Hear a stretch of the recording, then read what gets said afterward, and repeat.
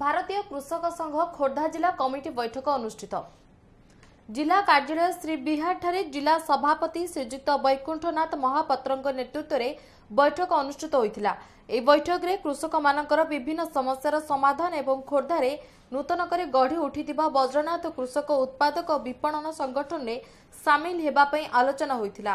ବୈଠକରେ ଜିଲ୍ଲା ଉପସଭାପତି ଶ୍ରୀ ମଧୁସୂଦନ ଦାସ ସମ୍ପାଦକ ତଥା କମ୍ପାନୀର ନିର୍ଦ୍ଦେଶକ ଶ୍ରୀ ଗଗନ ବିହାରୀ ପ୍ରତିହାରୀ ପ୍ରଚାର ପ୍ରସାର ବିଭାଗର ପ୍ରମୁଖ ଶ୍ରୀ ମଧୁସୂଦନ ମିଶ୍ର ପ୍ରମୁଖ କର୍ମ- କର୍ମକର୍ତ୍ତାମାନେ ଉପସ୍ଥିତ ଥିଲେ।